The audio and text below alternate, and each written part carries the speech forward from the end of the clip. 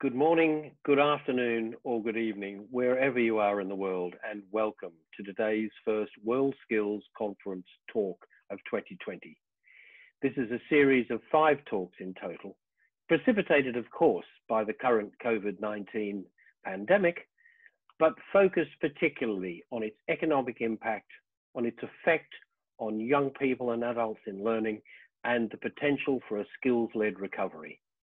I hope many of you will have seen our While the World Pauses campaign, which recognizes and celebrates all the essential workers that have kept our world moving during these difficult times. We owe them much, and this series of talks is partly homage to them. My name is Chris Humphreys. I'm acting president of World Skills International and today's moderator for this talk. At the time of beginning, we had 700 people registered for the event, and I hope you all enjoy the experience. In this talk, we want to give a voice to youth, to hear the very different stories of three of our World Skills champions and how they have been affected and been coping during the past few months. We will also have World Skills stakeholders here to respond directly to those case studies as well as share with us their strategies, both during the pandemic and for the new normal that will follow. In case you're not able to see all of the event, we are recording the webinar for uh, future use and it will be held on the World Skills YouTube channel.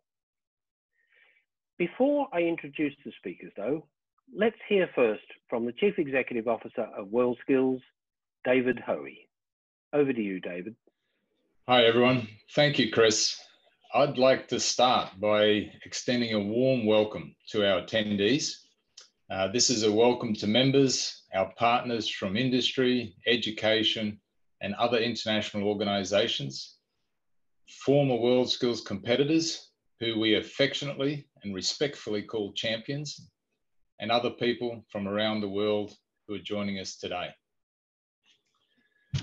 The goal of these World Skills Conference talks is to share expertise, um, to learn from each other, and to provide a networking platform, especially since physical meetings and conferences will still not be possible in the near future.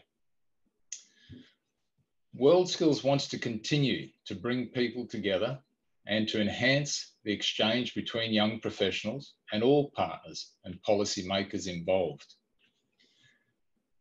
This is the, the time in which skilled professionals can show all their potential and it becomes visible to the world what they are able to do. Skills development and effective deployment will be critical to the post-pandemic economies. So now it's upon us to support young skilled professionals and help them keep their workplaces, continue their education and training, and follow their career paths further. In finishing, I want to thank everyone who is contributing with their time and resources, not just to create these virtual meetings, but also to keep the World Skills movement active globally and more broadly to help each other through a time of crisis. So all the best to everyone. Back to you, Chris. Thanks very much, David. Uh, and let me introduce today's panelists. So representing our skills champions and young skilled professionals in general from all around the world, we have with us today Amelia Addis from New Zealand, who I must stress it's after midnight for Amelia now, Shay White from Barbados, and Bart Deutsch from Belgium. They will share with us what they have experienced during the last couple of months and how the pandemic has affected both their careers and their personal lives. I'll tell you a little bit more about their background as I talk with each of them. But World Skills is not only a membership organization, it's a vast network, an alliance of industry partners, uh, training organizations, and other international organizations who support the movement continuously and with passion and provide encouragement, support, and, must say, sponsorship. Representing these allies and friends today are Elfie Klump, who's Head of Partnership Development and Global Education at Festo Didactic, one of our global industry partners. Borhene Chakroun, Director of UNESCO Division for Policies and Lifelong Learning Systems, and one of our conference coalition partners. And Mark Bramer, Professor of Woodwork at Conestoga College in Ontario, Canada, and a member of the World Skills Experts faculty. And it's my great pleasure to welcome them all here today and to thank them for their participation. Now, what I'd like to do is begin by having a, a conversation with and introducing our first champion, who is Bart Deutsch. Uh, Bart competed in 2013 in restaurant service at World Skills Leipzig. And of course, Bart, you've had a, a successful career over many years now, a great job with a quality employer. But of course, you've been working in an industry, one of those industries most hard hit by the pandemic. So, can you tell us a bit about how the COVID 19 crisis has impacted upon you and what's happened with you and your work and how you've managed to respond to the experiences? Right. Well, first of all, thank you for having me. Uh, yes, indeed. So um, I've been working to the hospitality industry for now several years, and when the uh, pandemic hit uh, the world, um, obviously the hospitality uh, sector, uh, especially restaurants, are um, have been the first one to be affected by closing and uh, incapacity to be able to um, to do work from home. Obviously, so um, we all been sent back home. Um, as I'm not responsible or I'm not in charge of where I work, I couldn't change anything from my job, uh, daily job um, objectives. So I, I, thought of how could I use my day uh, better than just by sitting at home. And I've decided to contact a hospital to see if I could be a help um, over there and the, um, they, they choose to ask me to come to uh, support them in introducing a um, connection through video chats between the patients who are not able to do it themselves and their families. Oh, and um, tell us more. I mean, this is fascinating. This is quite a change from restaurant service, but of course, it's still a people focused activity. It's very much focused on trying to help people get the best from the experience they're having. So, how did the skills you developed transfer? And tell us a bit more about what you experienced there. So, exactly. Um, first of all, when I asked if I could be in, of any help, I didn't know where I was stepping in. I don't know anything about the um, um, hospital industry, but obviously it is much more social than we could think. So um, therefore, my guest relation skills that I've developed through my career were a big help in, in, in, in that by managing the, um, the, the, the, expectation of the guest, uh, of, I mean, of the patients and the family on, on both sides. Uh, but it was on a whole different level.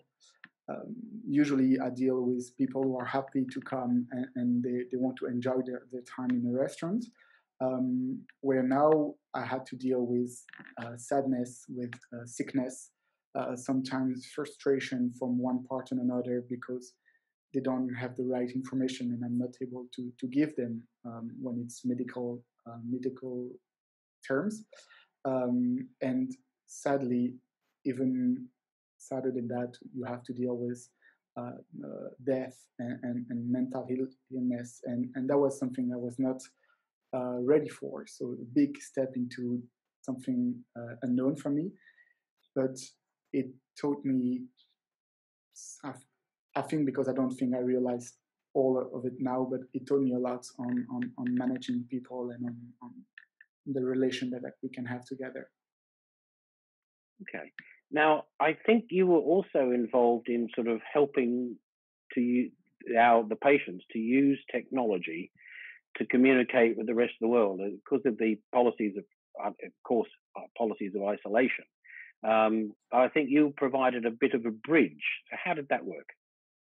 So exactly. So um, the the COVID nineteen affected, as we all know, especially people um, of an um, older age usually, and so a lot of our uh, patients were uh, people too weak to be able to use their phone or to not, not in correlation with, with the, the new technology though. so they didn't have any phones or anything to, to be able to call their family. Um, so they, they were really in need of our help. And so what we were doing is first of all getting the agreement of our, the patients to be able to show them by video to their family. Then we would call the family set up a, a, a meeting um, and then we set up the call and assisting uh, the actual call. So when I mean assisting, we would hold the, the, the, the, device close enough to them and make sure that the, the communication was uh, fluid. Because, because it is a disease that affects the, the lungs, sometimes they could not speak loudly enough. So we would have to be there, repeat, and then repeat what the family was saying. So there was a real uh, important connection and important um, uh, role that we have in, into those uh, those vital connections. It sounds to me like the, um, the the sort of transferable skills that you would have developed during your course were actually hugely useful to you there. Is that is that true? Yes, yes, um, I think I'm usually working into an industry that has to be uh, able to, to be flexible and, and, and, we have to be able to, to adapt ourselves. So that was something I, am new, I'm used to. But obviously, the, the, be able to bring the skills that I've learned somewhere and, and bring them back somewhere else, it has been a, a massive uh, eyes opening for me, but also a massive uh, help on, on my day to day job over there. Um, because not only with, with the, the patients and the family, I have to be able to adapt to the, this new um, environment and, and, deal with um, doctors and, and nurse, uh, people that I've never dealt with uh, in such a way. So the, the be able to transfer those skills is primordial, and, and I think it's what um, help most of the one who, who, has been able to do something out of, of the, the pandemic, obviously. And do you think you've gained skills from this experience that you will take back to the hospitality industry, to restaurant service, when the when we enter back into the new normal? Well, obviously, yes. Um, obviously, us, every... uh, what skills? What have you learned? Well, it's from now. Um, it, it's even more like a, a, better understanding of the skills I had before. As I say, human contact, guest relation. Those skills has been uh, into another dimension. So I will be able to deal with my guest, I think, in a in a better way. Uh, but I will be able to to see that the extent of that when I go back. Um, and I, I, gain into organization um, some organization skills, um, planning, and, and, and, some more administrative skills that uh, I was not doing on a daily daily uh, job uh, on my previous work. But I think most of the skills that I, I, I did learn on, on the hospital will come um, a little bit later. I will have to go back to work on my daily job to see how much I gain of uh, this experience. Well, thank you, Bart. That's really helpful and quite an, a fascinating experience. I wish we had time to learn more. Um, but let me turn now to Amelia.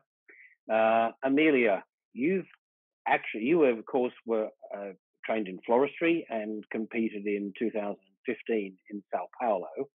Um, but you also took a different route to Bart. You went in as an entrepreneur, really, to set up your own business. So the challenges you must have been facing uh, over the last few months are obviously quite different from Bart's. Can you tell us a bit about that and how you started to deal with them and how it's worked for you? Yeah, definitely. Um, my experience is fully from, like you said, the perspective of a business owner and an entrepreneur.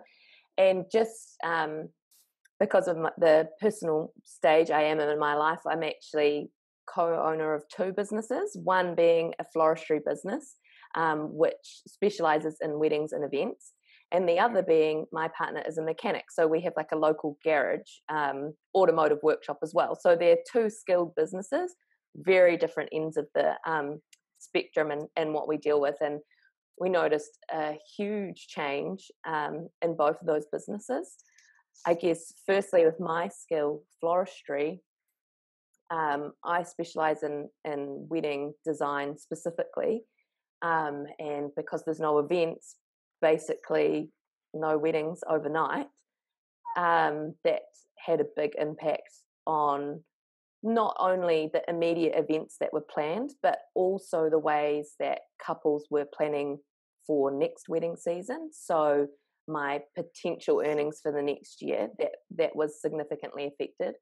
And then the other business is a day-to-day um, automotive business, which helps people get people get around. So as an essential service. Um, but we decided as a business to really limit what we did during um, the circumstances in New Zealand specifically that we locked down fairly quickly. We decided that if we were to close that business, hopefully for a month, and only do very emergency jobs, that we would be able to get back to work sooner. And so far, that has worked out in our particular situation in New Zealand that after about six weeks, we were able to return to somewhat normal work.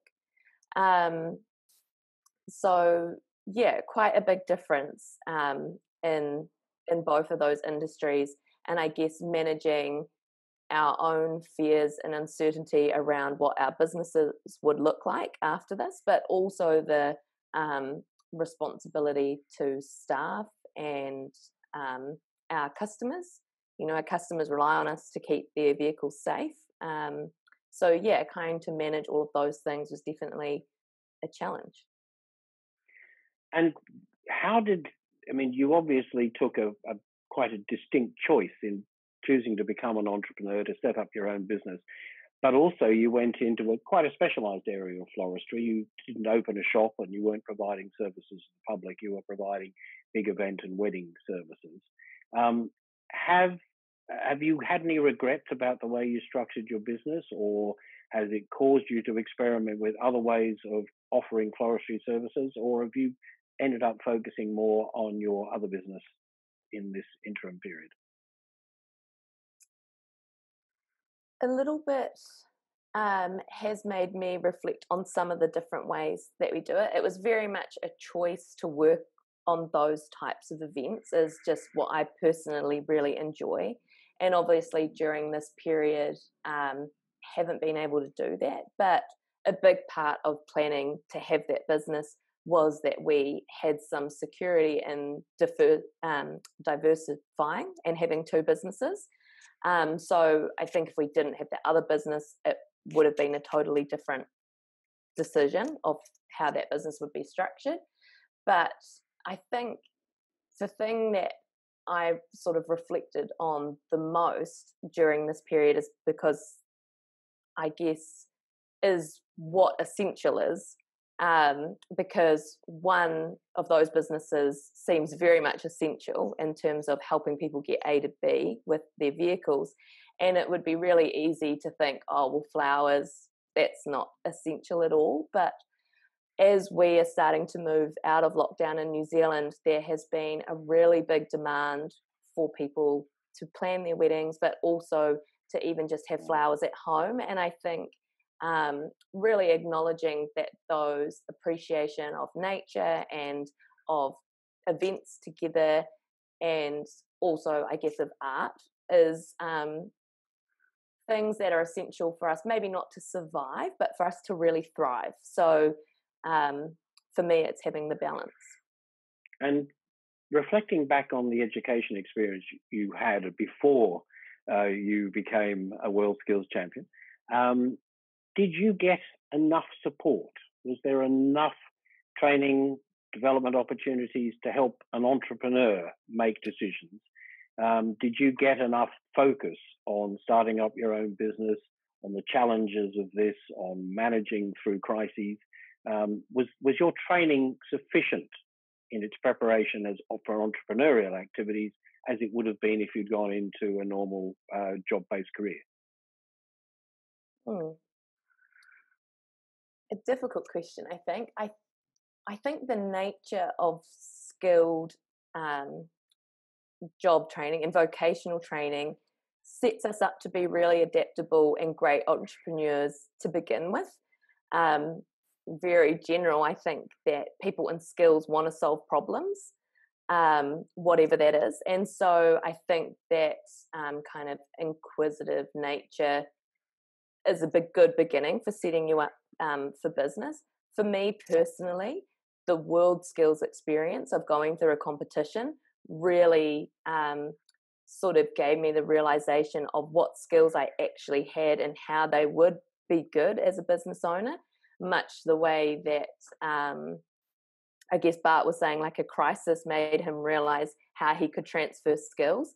Um, competition made me realize how I could transfer skills. So um, I think that it's one thing to have the skills, but having the confidence to use those and apply them is equally as important. And um, that maybe is something that we should build better into our education.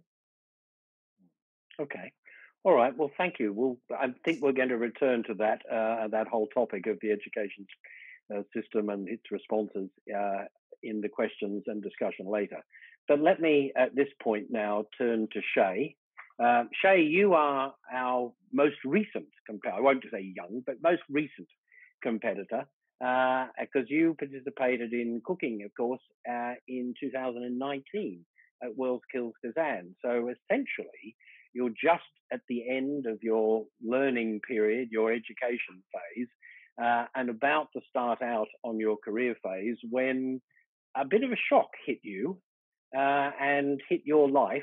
And it would be helpful to understand how you, as a sort of young um, person who's just completed their training, who's really reached quite a pinnacle in their achievement in their skill, has managed to cope during this period. So tell us what you've gone through and how you've dealt with this as best you can. Well, yes, this time around in the trust, I am the baby of the group. So being the youngest, it was a bit different. Um, actually prior to World Skills Kazan 2019, I was already working. I started working at a hotel in 2018. So, like Bart, I'm also in hospitality, so we were very hard hit. So, it was just coming to terms with the fact that we would no longer be working and just waiting it out and going with the flow and see what would happen. So, that was mainly just it for me. And as an asthmatic, I was actually advised to leave work earlier because I am a high risk person. So pretty much from since March, I've been out from work and I've just been at home, and I was out from school as well. And how? What has it meant to you to sort of suddenly lose that access to continuing education and the rounding out of your experience and this entry into work? Um, it, it, it must have been emotionally a bit distressing, but how else has it impacted on you? Um, it was definitely a challenge because in hospitality it's a very demanding job. It's all in or none at all. And then with mm. school, it was being a practical course. There's not really much that you can do in terms of practical examinations online. So my biggest challenge right now is familiarizing myself with online learning and trying to get back into the motions of being essentially normal from going from a complete standstill to just getting back into the groove. And we now commenced online learning. It's been a bit difficult to it's a lot of discipline, I think, to do online learning, especially from home because this is a space that you are most comfortable in. So to put yourself in the frame of mind of being productive and being efficient and doing schoolwork, it's been a bit of a balancing act for me. It's actually quite been very difficult, but I'm getting accustomed and I'm pushing through.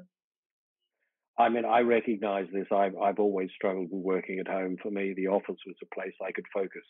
Um, but you've started online learning now. So what are you what are you covering at the moment, uh, and what are its strengths as well as the challenges it's giving it?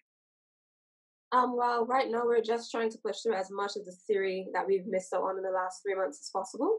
So just trying to get back up to track. Um, online learning, I think it has its pros and it has its cons. There's not every course, every subject that can be done online. Like mine, for example, we can only do so much with online learning. And then there's also the case where everybody learns in different ways. So they're not they're going to be people who will not be able to grasp certain concepts through a screen. Some people need that hands-on approach, that one-on-one with a tutor going through something step by step with them. So it's definitely been a learning experience. And for someone like me, I tend to grasp concepts very quickly.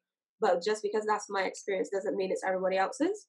So it's just trying to find that middle ground that you can assist everybody in the best way as much as possible. Did you think of changing career during this period? Honestly, I never fathomed being anything but a chef. From the time I was eight years old, I told my parents, this is it for me, this is what I want to be. And obviously, at that age, they were really certain I was going to change my mind. But 12 years later, I'm still here, and this is all I've ever wanted to do.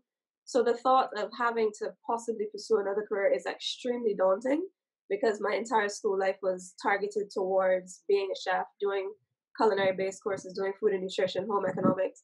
So I, I can't say that that's something I'd be looking forward to doing at all.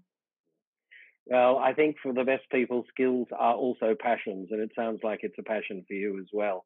Um, just lastly, for you at this stage, what strategies did have you developed to sort of manage your time and to try and create a disciplined place for learning in your life and to stay optimistic? Because it's this has clearly been very challenging for you. Well, actually, the way I've been coping is actually trying to utilize more online learning skills. So, in this time where everybody's basically at home, there are a lot of institutions that are offering free online courses. So, I've just been trying to get back into the, with helping with my education, get back into that, and trying to learn as much as possible about my given field so that when we are getting accustomed to the new normal, I'm not completely blindsided and would have had some customization period to do everything the right way. Well, can I ask a question now to all three of our champions? Um, we've got a group of experts from industry, from education, and from international education policy and practice here in the talk. Um, is there any questions you'd like to specifically address to them before I pass to them? I think we got we can't make it easy for them. We need a challenge. So any of you, just put your hand up and we'll and and speak. I think we can see when each other are muted. Yep, Bob. Well, um, the question will be during this pandemic, we, have seen that the uh, flexibility and the adaptability is uh, something primordial. And um, from my experience, it's usually the young people who adapt themselves the best. And, and for the example that I have, I always come up with some ideas that we could de uh, develop in in, in uh, our business and our um, restaurants and everything. And unfortunately, sometimes due to my young age, I'm not I'm not being listened enough, or I'm not being listened at all, or they're like, yes, that's a good idea, and then they just don't implement it. Um, there might be some reason, but I, would like to to know from them uh, why uh, we don't go to the uh, to the younger person more often? Why is it always uh, um, the higher uh, uh, directors and everything who take all the decisions? I understand there is a uh, experience part of it, but I think it could be interesting to to see the youth point of view as they are the following up, coming to to those position and everything. They have the understanding of the world. so so why don't we come more to to them? How do we listen more to the world of youth? A uh, very good question for all of our uh, our experts. Amelia or Shay, anything from you? Amelia? Yeah, I guess I have a little bit of a question. Is um, like if we're really wanting to create opportunities for young people to grow confidence in their skills and to develop um, those transferable skills and a real entrepreneurial mindset, um, I think we really need to look at our like current systems and kind of question um, do they allow space for all youth to have equal access to those opportunities, like regardless of um, race, gender, sexual orientation, or socioeconomic background? And and do we think that um, those opportunities at the moment are equally accessible? And if not, like how can we create checks and balances so that everybody is getting those opportunities to develop um, their their confidence and those skills that we know are so important to their lifelong learning. Okay, thank you. And Shay? Not really anything else to add. I completely agree with Amelia and Bart, but not so much a question, but just like Bart said, to be inclusive.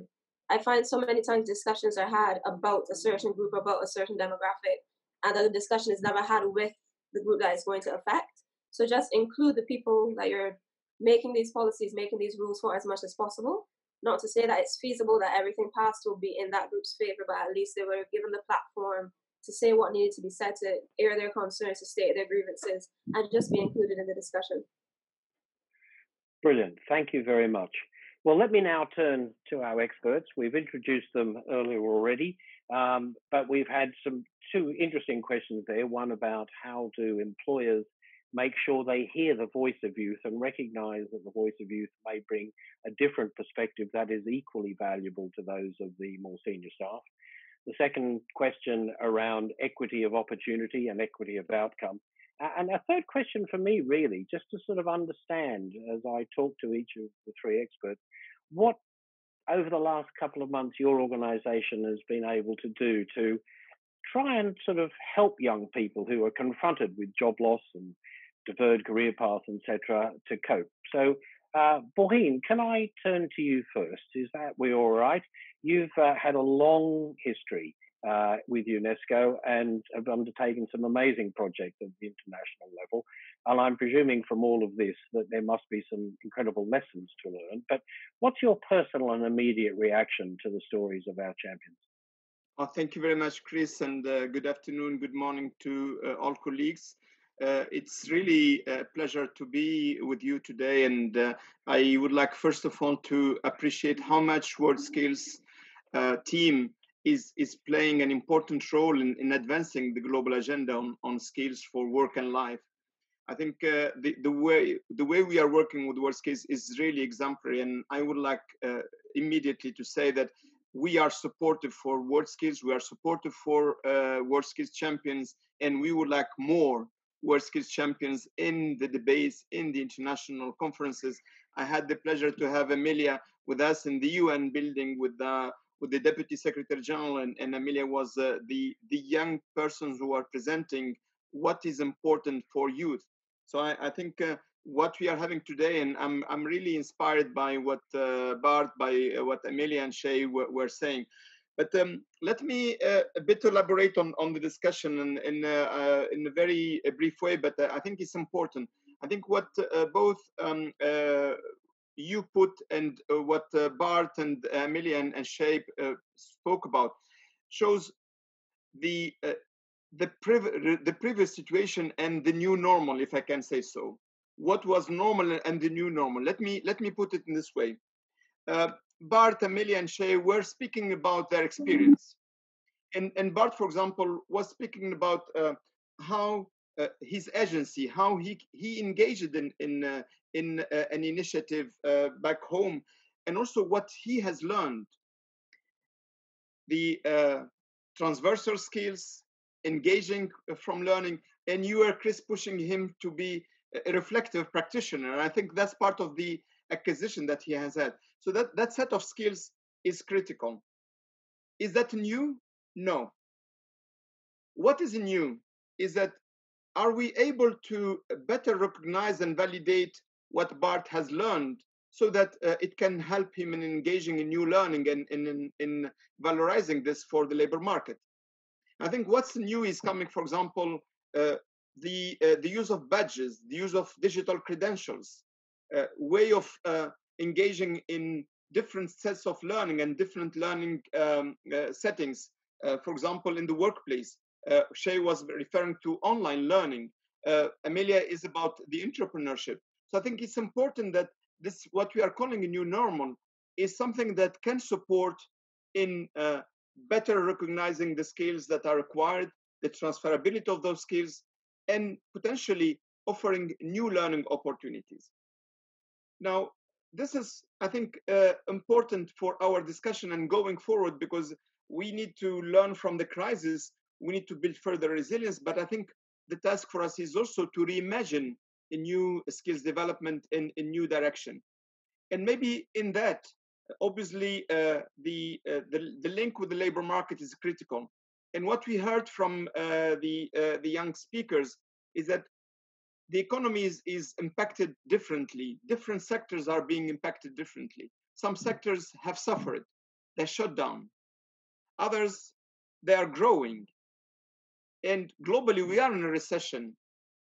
So it's important that uh, the labor market, our capacity to anticipate on the labor market, the understanding of the labor market uh, has to be reinforced. And again, the normal is what we should do is the survey of a company, getting this data. That takes time. And Bart was saying how we need to be agile. So I think the new tools and the new normal is about using other tools like the data analytics, like uh, using the opinion of uh, companies on uh, online. Other there other tools that are important. The last piece which I would like to highlight is that, and I, Amelia was referring to that. If any future, if any new normal, what should be and what is continuity is the, the quest for equity and inclusion and leaving no one behind. This is uh, the agenda that we should have all. And this is what, uh, and I respond now to your question.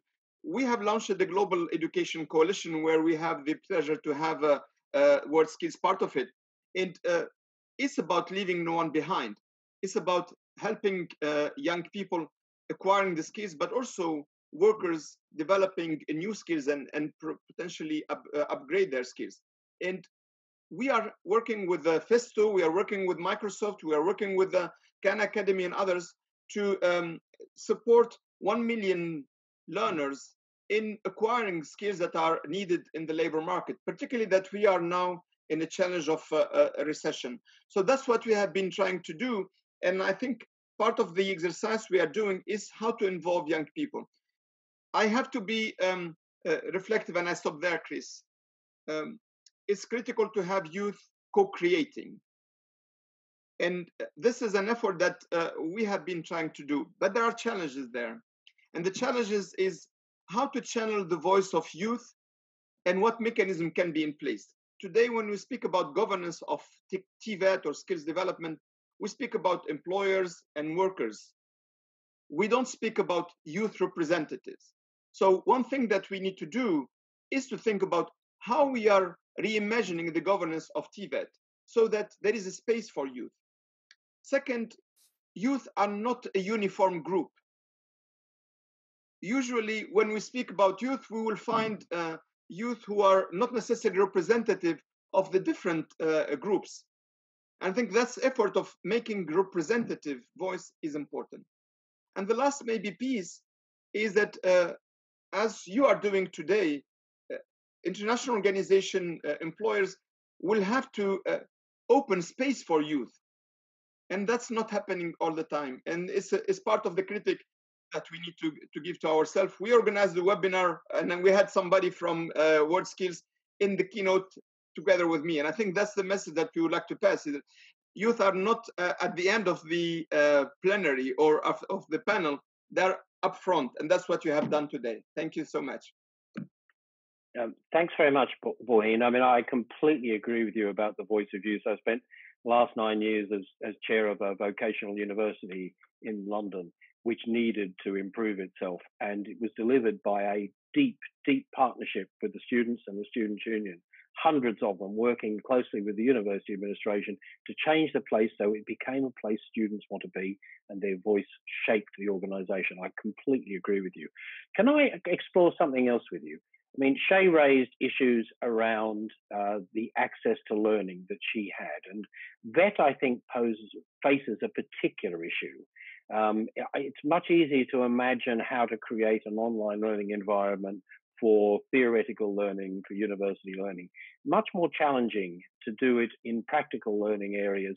Have you got any advice or have you got any learning that UNESCO has found over the last few years that could be good advice to give to education organizations to make a better proposition for vet students? I'm going to ask Mark the same question, but you must see that from around the world.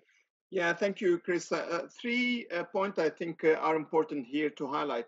First of all, uh, according to our data and, and, data coming from other UN organizations, um, when we had uh, around 1.5 billion learners out of the schools and out of education institution, half of them were not connected to internet and didn't have ICT device. So I think it's important that we uh, we look at the data and we understand that uh, the opportunity for online learning is not for everybody. And that one of the challenge for all of us is how to ensure going forward that the connectivity is addressed both in terms of internet connection but also in terms of um, equipment and in terms of digital skills which i think shay referred to it. Because connectivity is not only about the hardware it's also about the capacity to engage in, in, in, in digital learning and, and skills development. Second aspect, uh, what we have learned from uh, surveys that we have conducted, and we just finished the survey with the colleagues at the ILO, the World Bank, uh, the Asian Development Bank, and the European Commission, is that in most countries, the strategies have been a mix of strategies. High tech, meaning uh, online learning synchronous, low tech, meaning uh, it could be online and offline, asynchronous learning, but also no tech. And that means radio, TV, textbooks, uh, other modes of, of engagement that uh, uh, were used by, by countries and by, um, uh, or say, stakeholders. So it's important this mix of strategies and not focusing on only one strategy. Maybe the last point, uh, not to be very long, is that um, we need to think about uh, the resilience building. And it's very important that what we have learned from the last two months, we don't close the, the, the door and, and we move uh, again to uh, the normal. I think part of the discussion that we should have and international engagement is how we will build resilience for new shocks, new uh, challenges, and potentially, as I said earlier, reimagining. And uh, we, the news from Beijing yesterday, uh, if uh, everybody is looking at, shows that we are not out of the crisis and we need to be uh, also conscious about that. So this is what we have learned. The survey shows that uh, the uh, uh particularly we have conducted the company survey and it shows that uh, the most hit in this context are apprentices because uh, most of the companies stopped their operation and apprentices are the ones that ha have been most affected both in terms of learning opportunities but also in terms of uh, uh, stipend or in terms of wages, because many of the companies stopped giving these. Uh, so it's important that uh, companies, government support apprentices, support learners in this context, because we know that this will affect also the career going forward. Thank you. Thank you very much, Borhene, and that's a perfect opportunity to to turn to Mark. Uh, Mark, you're uh, very much in one of those educational organizations who is seeking to support students uh, through these times. Uh, and of course, it isn't just, as Borhene said, about supporting them for now. It's actually about looking at how we transform our systems so that we become more resilient to support them in all sorts of environments and challenges in the future. So, can you tell us a bit about, um, you know, how it is uh, that you've um, been dealing with this and, and your perspective on how we take this forward what your response to our young people is too. For sure, Chris. Thank you very much, and greetings from Canada. I've uh, I wear two hats this morning. One is uh, World Skills Experts faculty, and uh, that is past experts from World Skills. And uh, our group is working hard on um, doing some mentoring as well as uh, online developing and uh, some of those other other uh, partnerings that uh, we are currently doing. My other hat is as a teacher, as a professor of woodworking in in Canada here, and um, it's been an interesting discussion this morning because that's exactly what's been happening in Canada. You you champions have uh, have hit a lot of things on the head this whole transferable skills i've often preached that this this is what we're teaching now i'm a cabinet maker by trade and that's the skill i teach however i've often told my students that what they are receiving is transferable skills. And when they graduate and move on in the career, nowadays, few of us see a career for a lifetime. Many of us are going to change our career in a significant change, maybe two or three times throughout our life. And, um, and so our skills are transferable. The other thing we're doing in education is we've often talked of sort of technical skills and soft skills. You might use different terms in your country, but um, this uh, COVID 19 has really highlighted, I believe, the softer skills, the communication skills, the inclusion skills, all of those kinds of things. And I teach, I teach in a large shop, and um, there's there's a mentality sometimes that we don't need that stuff. Just give us how to be good cabinet makers. And what we're finding now is those uh, skills are becoming more and more important. And so I still think in education, in moving forward, we're going to need the blend of the technical skills as well as what we call the soft skills, uh, the communication, uh, those kinds of uh, things as well. My students were initially uh, quite stressed, fearful, I could say, of the future because none of us knew usually when somebody's fearful of, of something, they go to an expert and they get some help. Uh, the problem is, we faculty, administration, the rest of us, we're, we're not experts in this, and so and so there was a fear of the future. Um, you know, will my trade still be there? Uh, I appreciated that comment about the apprentices because uh, so many apprentices are I'm going to say somewhat fragile initially in, in the beginning of their career, and this is not doing them any good. So we need to rally around them, or we're going to miss a generation of the younger people moving into our skills. So fear was there initially. I, I think we're past that in Canada, meaning we've got a plan and we're starting to move out of the COVID um, so that students now see, okay, I can return to classes on such and such a day, and I, you know, uh, can do my online until then, and that kind of thing. The other thing that I'm finding with my particular skill trade, um, and you may be able to apply to yours, is that we're human and we have senses. The sense of touch and smell and taste how do you do that online? And and that's a big part of my crafting trade uh, can, can, i say it that way is uh, are, are, the senses. And so we in education that are developing these online uh, programs have to be very sensitive. As uh, i think it was amelia said or somebody said it's not for everybody I think Shay said, is not for everybody. It's not conducive to to everyone, and so we need to pay attention to the development of that. We're going to we're going to develop, and we're going to put resources and energy into it, and it's going to take care of a niche in the market. But we have to be aware and be inclusive of those that really don't learn that way um, and need the other senses involved in that. Um, and I'm just saying the speed of life, the speed of life was a little bit crazy in my world prior to COVID 19. And I think that has slowed down a little bit, um, allowed people to come up and breathe a little, look around, um, analyze. And um, we've got our work cut out for us in the skilled trades to, to re include. Uh, those young people and things like that because they've had a chance to step back and to uh, and to examine some things and, and look at some things. So we'll need to again do our promotion in a good way and uh, and uh, speak positive of the future because I believe it will be positive. Okay, thanks, Mark. I want to explore. Funnily enough, I've just had a question in directed to you uh, from one of our audience. So I'm going to come to audience questions in a minute. But since this one is directed to you, um, one of our listeners said, "Do you mean to say employability skills will hold as important a role as the hands-on or vocational skills? I'm not an expert in that. I am an educator. I do employability skills and I do hands-on skills um, in in my programming.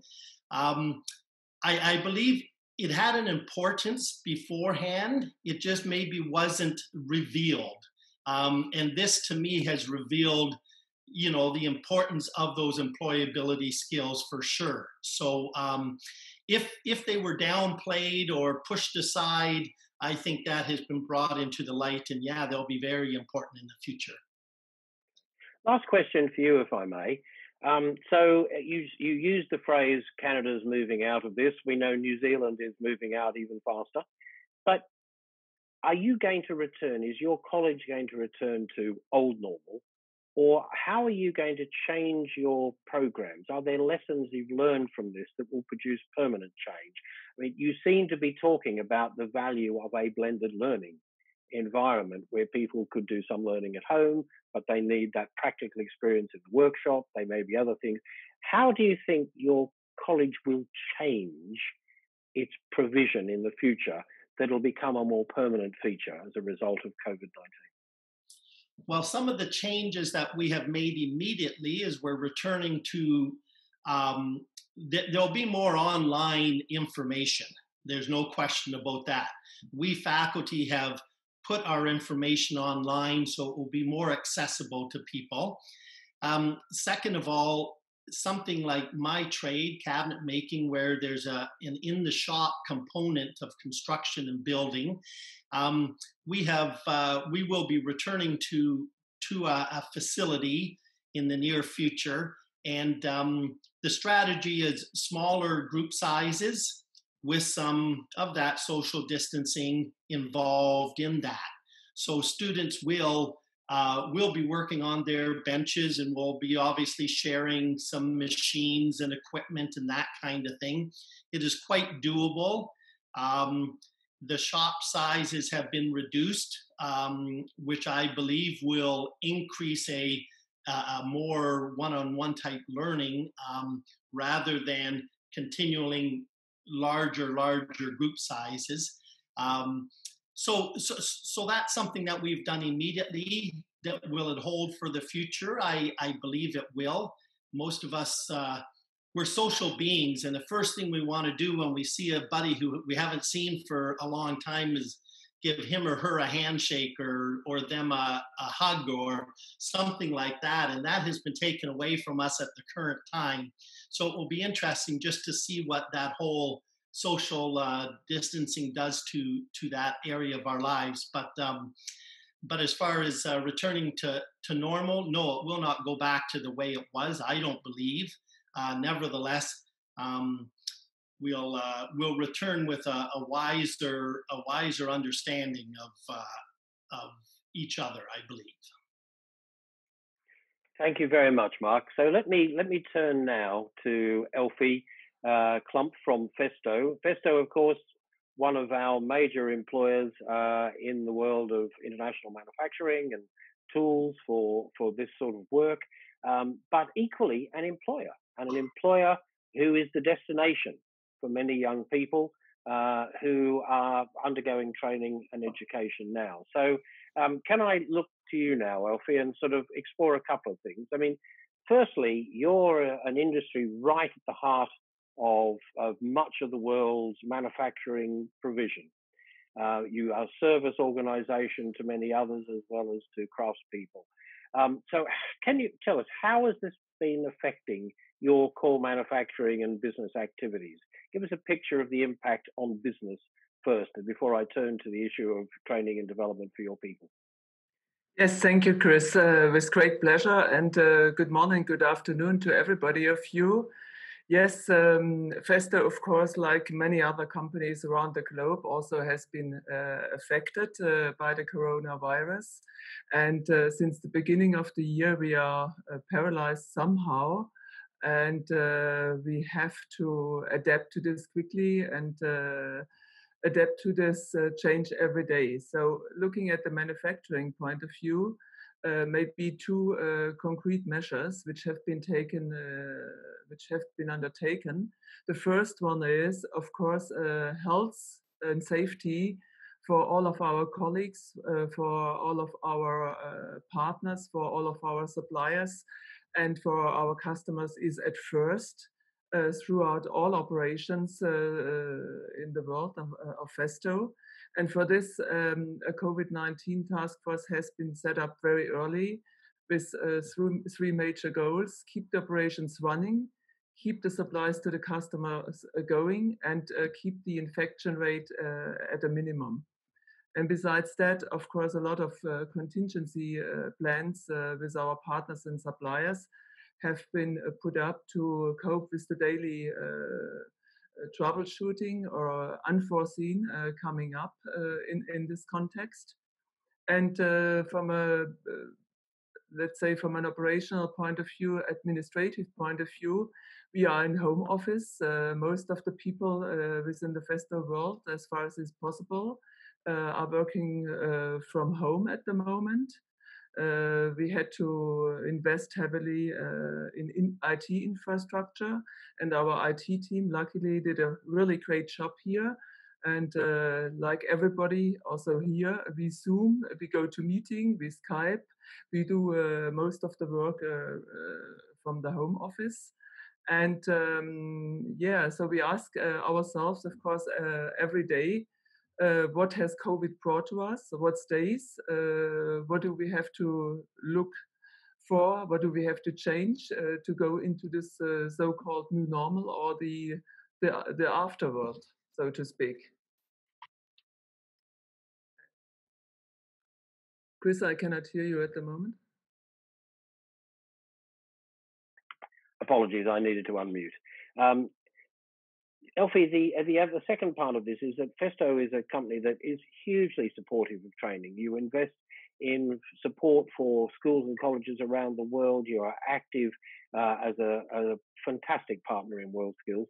And of course, you have your own training and development offering for your own team. So, how has this affected you, that aspect of your company's activity, and how are you responding to it? How are you coping with that change, and what support are you giving to your learners? Maybe I can take this question uh, in two parts. One is uh, how do we uh, address the education market, or what do you what do we feel from the education market? Well, first of all, I think we can say that uh, the education market is in full disruption mode. I mean, uh, millions of learners are at home, millions of schools are shut down. Um, uh, Borhene mentioned and tapped on the question of connectivity on the question of accessibility. And uh, so we can say, of course, uh, the virus is digitalizing also uh, our market. It's uh, going to uh, digitalize uh, the technical, the TVET sector, the work, workplace learning sector. Um, looking here at World Skills because this is the TVET sector. Um, the question is only to which extent, uh, to which level is going uh, to be uh, affected, and uh, how can we uh, organize, uh, let's say, TVET to some extent in a in a digital way. So, in a nutshell, this virus is a game changer, and of course, we had also to react from Festo. Um, like uh, many other companies around the globe uh, in the uh, education sector because um, a lot of um, training and education is done online. online courses are on the rise. digitalization of education is on the rise we had uh, to, to to come up with solutions um, for uh, physical trainings, which we normally offer around the globe uh, in, to, to, industry customers. We have, for example, 45,000 uh, industry customers going physically to seminars every year. So obviously, uh, we had to come up with a lot of uh, new curated uh, platforms and do this online. We see a hybrid model coming up for the future. Uh, to some extent uh, in physical uh, classroom, but obviously also a, a, good portion, if feasible, um, remotely. So. Um, in a nutshell, uh, education in the digital format is booming. Uh, I think uh, everybody can feel that. Um, um, I can feel it also with my daughter, for example. She is now completely at home from um, from university. and uh, obviously, what did we do uh, from Festo? How do we? Because education is in our responsibility. We are resp- we, uh, education is in our DNA of the company. Uh, we are a learning company, so uh, obviously um, it is our responsibility also to bring our share here to the, to the table and uh, come up with solutions. And this is why we are very happy to uh, support initiatives of uh, recovery. Uh, we are happy to support here mm-hmm. also the um, UNESCO Global Education Education. And uh, here, concretely, for example, we offer online training models in the water sector because everybody knows that the water sector has become even more uh, crucial uh, during those days.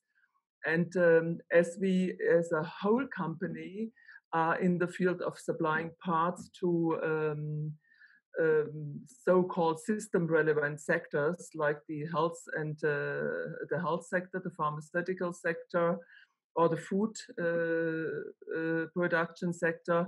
Obviously, uh, we um, do our best and our utmost to keep our operations uh, running globally.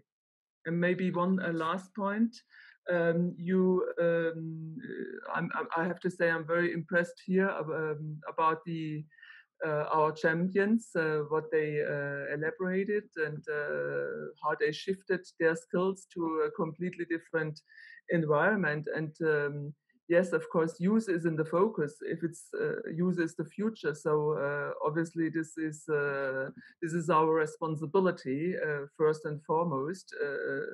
and um, here we at Festo, we, uh, we have about 350 trainees and apprentices throughout our global operations. And of course, uh, we have to come up with new learning formats to keep uh, our uh, apprentices in the in, in the learning mode. That means uh, we try to to offer also courses, uh, teaching formats, so that they can make full use of the time and that we can keep it going. Brilliant. Uh, thanks very much, Elfie. Uh, I wanted to finish with, with you with a question that I'm also going to offer to Mark, um, because we've had some good questions coming in from our audience. Uh, and one of them relates very much, I think, to both your field of, of activity and also to Mark's, uh, which is the question of does virtual simulation have a role to play here? Or are there just too many things that are difficult at this point in time, at least, uh, to use that might provide that sort of replacement for practical classroom? Well, well, workshop learning is really what it's about. Do you think there's a role for for simulation here? Um, yeah, uh, my, my answer would be yes, and it's going to be a mixture. It's going to be a hybrid model. Of course, you cannot uh, uh, transfer everything to simulation. That's uh, that's for sure. We know that, and as we always say at uh, WorldSkills, skills is with heart, um, head, and hand. So, and obviously, you can do a lot of simulation, and I'm sure we will see things coming up which we are not even have thought of uh, today, uh, maybe in the in the next five years, and a lot of things will be going digital and move to digital uh, learning to uh, remote learning. But obvious, obviously, at the end of the day, if you want to make, make a cabinet, uh, you, you have to use your hands and uh, need to also maybe to smell the wood or, or whatever. And uh, like Mark said, uh, uh, you, you you have also to to to this factor in in the whole in the whole uh, in, in the whole environment or if I look at Bart with uh, hospitality and with the uh, with where, where, his skills are I mean this cannot be moved digital uh, that's, that's for sure. So but uh, in a nutshell I, I'm, I'm convinced personally also that this virus is tremendously digitalizing uh, the education market that's for, that's for sure yeah. And um, we have seen that at Festo uh, in the in the past few months already. Um, and uh, uh we are by the way we are very confident and we are very uh, optimistic that this is going to offer us uh, uh, tremendous chances um, to bring not only our portfolio to the education market but for the whole for the whole education sector And uh, one last point to finish is uh, last uh, this week I um, uh, listened to a radio emission which, which said uh, we are we should not lose a generation of education. Yeah, and so this worried me very much uh, because uh, if I look at the accessibility and the connectivity, and then uh, people hearing people saying we should not lose a generation of education, um, this brings me back to the uh, to the remark of Bart, uh, who said, "Where is the use?" And of course, here we have to bring in the use and put it right in the middle, because this is our next generation. Thank you very much, and I'm going to come back to our champions in a in a few minutes to actually pick up that whole issue of how we can do that. But let me turn, as I said I would, to Mark because Mark, your uh, in fact the question specifically said um, how can we use virtual simulation in cabinet making? So, um, what's the role that technology can play here? There, there's also one other point I'm going to come to, uh, Borhene, with you, which is the whole issue, which has also been raising questions about access to the internet and access to ICT. But uh, Mark, I mean, virtual simulation, cabinet making, and where can we gain from technology? Yeah, well, I, I believe what what Elfie said was true. We're going to end up with a hybrid in our education of both online and some type of practical um, outworking. I hope cooking never goes to complete virtual or we're going to be a bunch of hungry people so but in, in a practical way if you can imagine cabinet making ironically world skills has been doing this for a long time where we give the competitors a package of wood, a package of parts, and from that, they've got to construct it. And so you can imagine myself as an instructor with 20 students in my class, I could watch them virtually on a Zoom do the joints in front of my eyes. And what that what that actually does is it, it gives me a, a quick comparison. Who's moving too fast, who's moving too slow, who's being careless, who's all on one screen, I could actually see them construct before my eyes in real time and end up with a project at the end. Um, the only problem is in evaluating it. I can't physically try the door or the drawer to see if it's sticking or, or working or to that extent. So there are some limitations, but um, being creative and and looking at something like that or a portion of of my education being done in that way would be would be interesting. The students then still get to touch, smell, taste, do their senses with what's in front of them. It is, um, and in Canada, we're we're fortunate to have the the you know the internet and the conduct activity, you know, fairly fairly strong in in most regions. So so something like that could be done. Um, so so it's interesting. It's still experimental, uh, but I, I, believe there's elements that could be done to it. Yeah, so very early days, even for those nations with connectivity. But Borhene, a big challenge, isn't it? This whole issue of access to digital learning, where that's either needed or effective, uh, is a real problem for much of the world. Well, yes, indeed. Uh, just to just to build on on what Mark uh, just said, and and uh, I will come to uh, the point.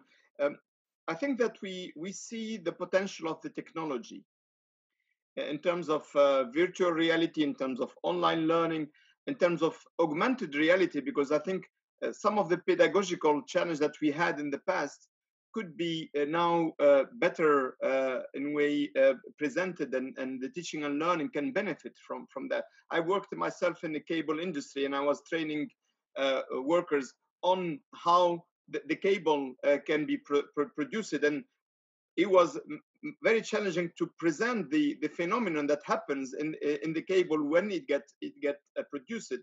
So I think the technology can help us to leverage a lot of uh, mm, uh, uh, tools and resources that we, we didn't think before.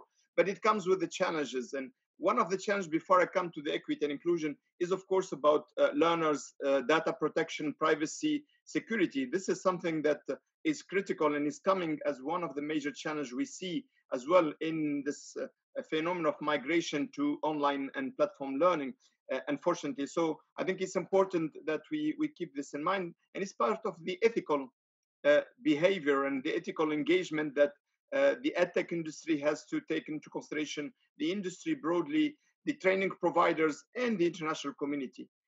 But the ethic is also about uh, inclusion and equity, I believe. And uh, I, I, presented earlier the data, but uh, the data shouldn't uh, shouldn't prevent us from action. In reality, they should drive our action.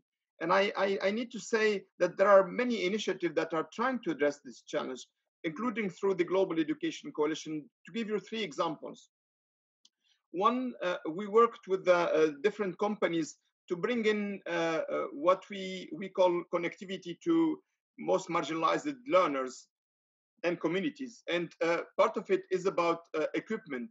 And, and many organizations are offering devices, tablet, etc., and without naming brands, but there is, there is this effort of uh, solidarity that is uh, opening for the most marginalized. Second, uh, there is a lot of uh, discussion on how to have quick wins related to connectivity. Just to mention a few examples, we, we work with some organization on uh, hotspots and, and, and how to ensure that in communities where there is no internet, there could be some form of connectivity in, local uh, Wi-Fi. Uh, there is also all the, uh, uh, I would say, inclusiveness by design, having uh, apps and, and resources and, and platform that can work online and offline, uh, that can work also in, in a low, call it in light mode for the internet connection. So there is this effort as well. And then there is innovation and creativity that is interesting. If you take, and now I have to mention the brand because if you take an initiative like the Loon that Google is, is launching, with the balloon and, and, and how to cover uh, different regions that are not covered by internet. So I think our international community has to drive this innovation and there are innovations that are coming. So, um, but if we take it to political level, I think we have three things that we need to do as an international community. One is what you are doing now, Chris, and, and, and emphasizing it, raising the voice about equity and inclusion. It has to be our concern all and leaving no one behind shouldn't be a rhetoric. It should be, it should drive our action. Second is this multi-actor, multi-stakeholder collaboration. It cannot be done by government alone or by education institution or TVET institution. Uh, there should be this multi-stakeholders and uh, obviously uh, the private sector, the telecom companies uh, are important. Third, I think if we are really serious, then it has to be uh, uh, the right to internet. There is some countries, take Finland, for example, the right to internet is becoming uh, not just, uh, I would say, a luxury. It's a right because the right to education and right to skills development is also about the right uh, to access to connectivity. So it's about rights, and I think we need to drive also the right perspective. Thank you. Thank you very much, Borhene. I couldn't agree more. We had uh, a couple of uh, our listeners raise this, and particularly one from Malaysia, where I know this is an issue our own uh, World Skills Malaysia has raised with us in our discussions about how we organise competitions in the future. I wonder if I can turn to a combination of the, the our champions and uh, Elfie as an employer. Uh, one of our questioners said, business and industry needs to review their HR programs and understand the differences between Uh, well, their phrase is between millennials, Generation Xers, and boomers, different age groups in the workforce, as they each have different perspectives and look at things with different reactions to what they say. And I think we heard our champions say earlier, you know, the voice of youth needs to be heard in employers because they do actually bring a different set of values and a different set of expectations. Before I turn to Elfie, can can I turn to any of our uh, young champions and say, do you agree with that? And how's your what's your feeling about this? Any of you, raise a hand. Amelia, and then Shay. Yeah, I um, definitely agree with the sentiment of needing to um, it's about again inclusion and valuing all the different viewpoints. And I know um, within like business practice for myself um, that a way that we measure how well our business is not only seating in the present but will have longevity going forward is how it's meeting the needs of not just us as business owners but of all the stakeholders whether that is our employees our customers the community like that we're serving our community in a wider sense and so the best way to understand whether we are doing that is to actually engage and ask those stakeholders for their perspective. So, um, yeah, I just would agree and, and think that it should just be um, implemented into a business's um, systems. Um, okay. And it's the, I guess, I know just from my experience, the easiest way to make sure that I continue to do the things I say that I'm going to do in the business is to systemize it. So it shouldn't be a, oh, we'll just think about it. Sometimes you should be in the nature of doing it all the time. Okay. And Shay? I couldn't agree more with Amelia. I think inclusion is very important, and obviously, every generation is going to have different perspectives. But I find that the youth in particular, we there are no holds barred with young people we tend to go straight for the hard hitting questions. We really are not bothered by how people will be perceiving us because if something needs to be said, if something needs to be asked, we will ask that question. So the youth tend to go with the flow of call to action. Like you are in a position to change it. So why why is there so much debate around it? Simply change it because at the end of the day, what we have to say is valid. Okay, thank you. Bart, I'm going to come to you with a specific question about the hospitality industry in a minute. So think about the future of the hospitality industry while I just turn to Elfie on as an employer. Elfie, your response as an employer? Well, I think for me, only one word counts, and this is diversity. Diversity at all levels. For me, this is a tremendous success factor. And uh, I have been uh, around this business now in the Festo company since uh, quite some time. And uh, I see a lot of changes. I see a lot of changes in terms of diversity, uh, how we move forward on this topic. So this is for me a key success factor. And this applies, by the way, at all levels, not only uh, for Festo as a company. This is, applies also in the education sector and um, where, at the at the manufacturing sector wherever you go.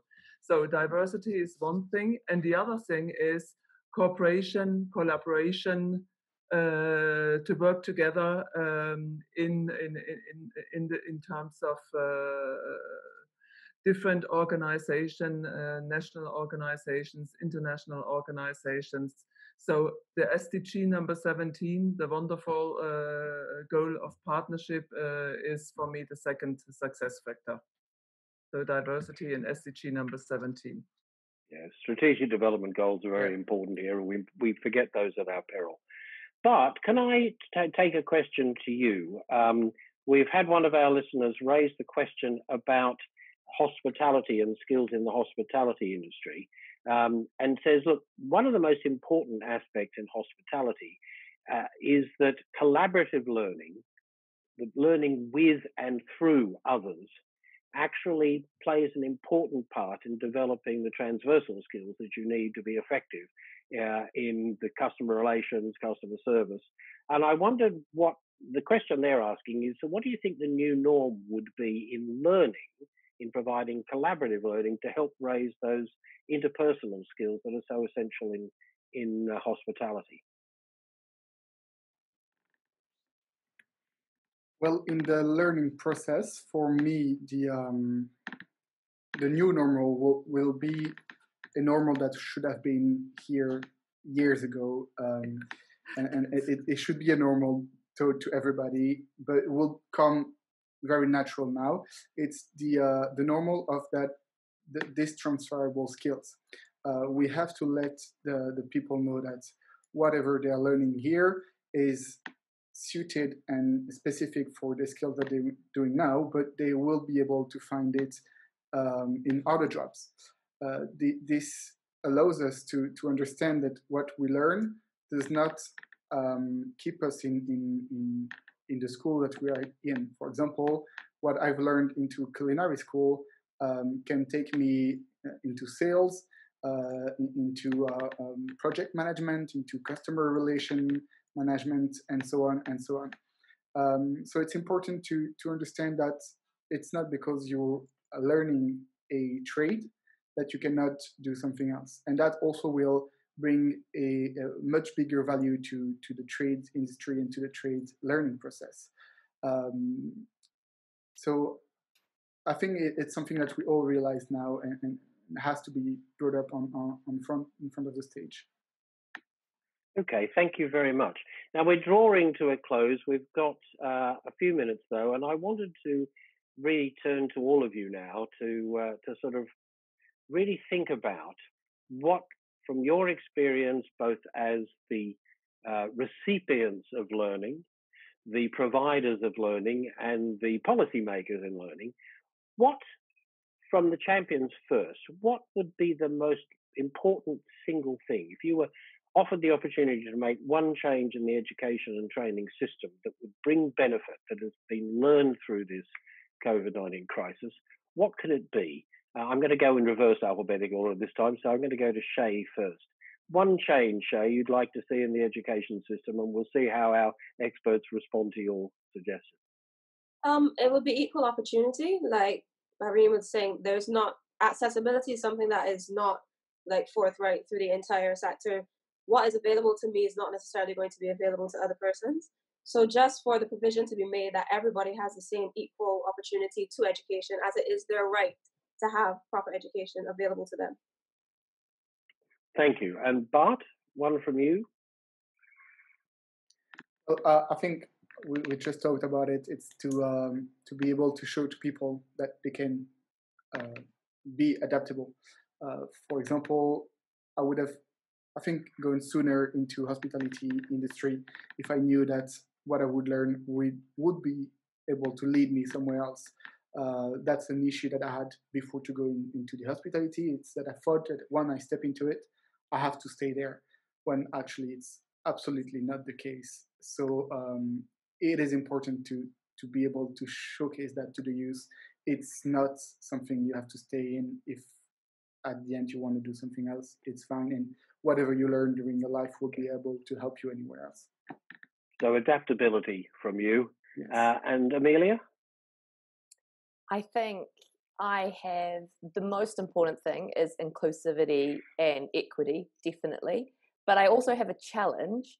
And the challenge is I think that skills in general always have a um, perception issue. That's a, a big problem in skills. And right now, in this moment, I think the world's appreciation for skills is bigger than ever as they're seeing that they help us keep moving through this. So I would challenge the skills community to capitalize that on that um, change in perspective to encourage people who may not have before looked at skills pathways to um, to really capitalize on that change in perception um, to get more people into skills because we we know we're going to need them in the rebuild and the recovery. So yeah. Thank you. An unplanned plug for the essential workers and uh, this whole need to recognize that during this crisis, the people that have kept this world operating aren't necessarily the skills that parents think are the most important. We've really found what's essential now. So um, let me, I'm going to come to you in, uh, in, in, a particular order, if I may.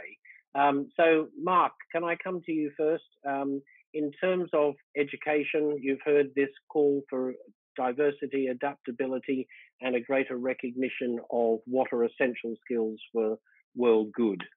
Your reactions?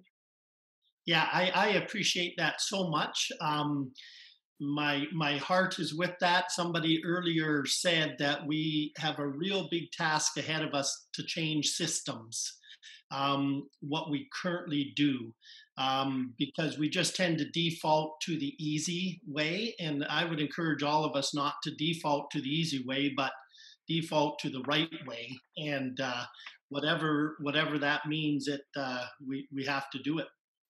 Yeah. Okay. Thank you, Elfie.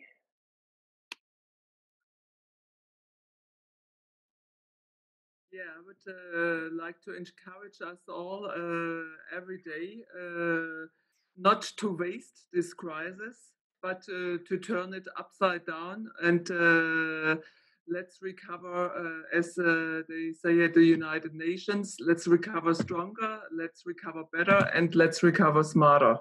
And uh, try that every day, uh, each of us uh, thinks about what can we contribute from from our particular angle. Okay, thank you. And uh, Borhene, I mean, we heard three key words in the UNESCO cry, I think we heard diversity, we heard adaptability, which, you know, transfer skills, uh, and we also heard this real need to recognize the importance of VET. Uh, is UNESCO able to drive this? Can you make a difference here? Can your Global Education Coalition really help us take advantage of this uh, in the post COVID world? Indeed, that's what we are working uh, day and, and, night for that. And, and obviously, uh, it's uh, it's I think a task that is not for UNESCO. It's a task for uh, the the global community. It's a task for our youth uh, who uh, are uh, also um, contributing to this debate, but also the world skills teachers, as as Mark was was mentioning. I, I would like to to say. I mean, I know we are in the in the last um, moment of our webinar, which was really incredibly rich and, and very important for our discussion today. Uh, you were mentioning uh, the importance of health, and uh, we were mentioning the importance of uh, the transversal skills and skills that are uh, the 21st century. I think all of us also during the last two weeks were hit by uh, what I will say, I can't breathe. I think it's very important that we take the global citizenship and the citizenship dimension. And I think Bart was, was saying how he engaged voluntarily in, in some of the initiative. So it's important that we don't think uh, about uh, technical and vocational education and training as just the hand. It's the hand, it's the heart, it's the, it's the head, it's everything. That blend of skills, that set of skills is required. Transversal skills, citizenship, engaging. We want. We don't want robot. The robot will be there. We want humanity because that's what will differentiate us from from robot. I think that's what we need to take as a reimagining uh, uh TVET going forward. It's a TVET that is inclusive, it's a TVET, but this TVET that is a human, that is uh, catering for uh, the people, that is valorizing people. And one point that is important, it's not only sufficient to learn skills. What is important is to valorize that skills, both in further learning, in the labor market, in society. And that's why we need to work together in this direction how we, we build back, but how we build better. Because if we build back what was there, I think we will miss the point. And UNESCO, together with all the partners of the Global Education Coalition, uh, will be actively engaging, and World Skills is a critical partner there. Thank you very much, Chris. Thank you very much, Borhene. Well, thank you all. Thank you, our uh, audience, and all the many questions. I haven't been able to answer all of them by any means. Um, but thank you for participating, and thank you especially to Amelia, Shay, and Bart, to Elfie, Borhene, and Mark for your contribution. I wish everyone uh, good luck for the coming weeks and hope that everything will return to normal again soon. Uh, hopefully, sorry, the new normal. And that new normal has to be more diverse, more inclusive, uh, and more adaptable and on top of that, it needs to recognize that it's the essential skills that have kept the world moving that are the ones we cannot afford to lose. Um, before I go, I'd like to mention that we have a number of uh, additional World Skills Conference talks coming up. Uh, on the 1st of July, uh, can skills competition training and assessments be effective online? Some of the issues we talked about today. A week after that, on the 8th of July, we'll be examining a very important and live issue, Again, a critical one. How do we ensure diversity and inclusion in skills competitions and vocational education and training? Uh, on World Youth Skills Day on 15th of July, we're going to have a dedicated champions panel on skills and a word you heard mentioned earlier, resilience. And then finally, on the 22nd of July, I'll be returning to discuss the collection of assets and uh, materials that are going to form part of the World Skills Museum in opening in Shanghai in September 2021. We'd be delighted to see all of you again. Uh, you can find all of the details and registration links on the simple website worldskillsconference.com. Uh, and so once again, let me say good morning, good afternoon, or good evening to all of you, and so have a very successful day. Good night.